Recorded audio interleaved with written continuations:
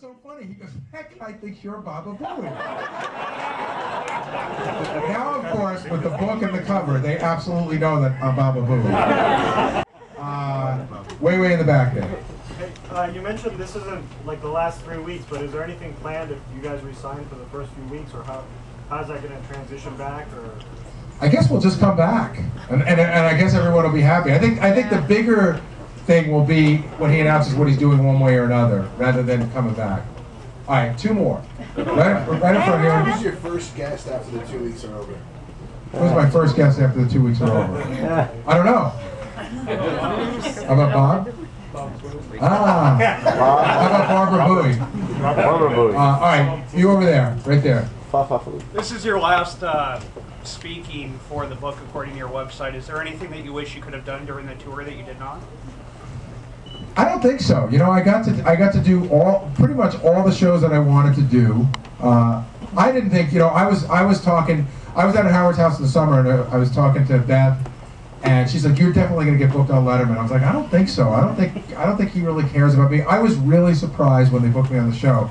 Now that I'm looking back at it, I'm saying, okay, Letterman, Kimmel, Fallon, Today Show. Those are all, you know, those are pretty big shows that I didn't think I was going to get. So uh, I don't regret not getting any shows, and um, the book signings have all been great. I've been thrilled at the way they've all gone. All right, you, ma'am in the front, get the very last question, then we're going to sign some books. Thanks for coming, thanks for answering all our questions. I wanted to know if Leno would have called for you to do Good question.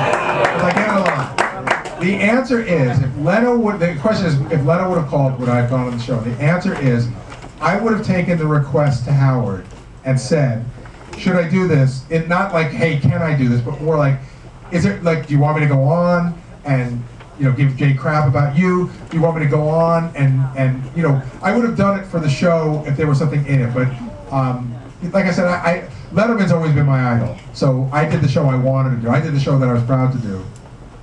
All right, thank you all.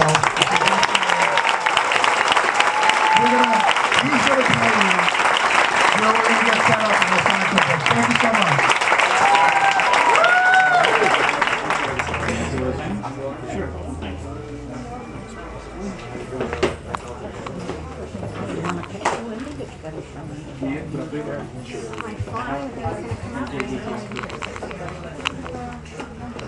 thought that was a Baba Booey t-shirt for six. Ready? One, two, three. Nice to meet you. There you. Okay, thank you very much.